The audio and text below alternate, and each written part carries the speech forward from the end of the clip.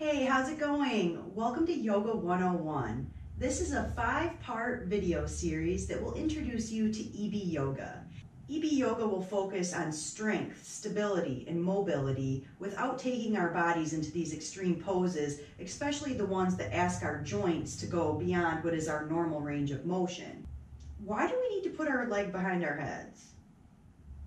I hope everybody can have a safe, healthy yoga practice, gain strength, and gain mobility without having to feel bad about themselves because you can't put your leg behind your head. Yoga 101 is made up of five videos, each about 20 to 30 minutes. So in less than two and a half hours, you can have a really good foundation of yoga knowledge and be ready to move on to any of the EB yoga classes that you'll find in my online studio membership or here on YouTube.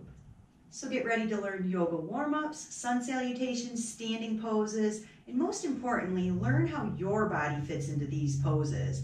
The pictures you see online, don't think you have to emulate those at all. We're here to learn what yoga feels like in our own bodies, and every body is different. I hope you enjoy this Yoga 101 series, and you can continue to join me on YouTube. I post new videos every Friday. If you'd like even more EB Yoga, check out my online yoga studio membership at my website. Have a wonderful day. Namaste.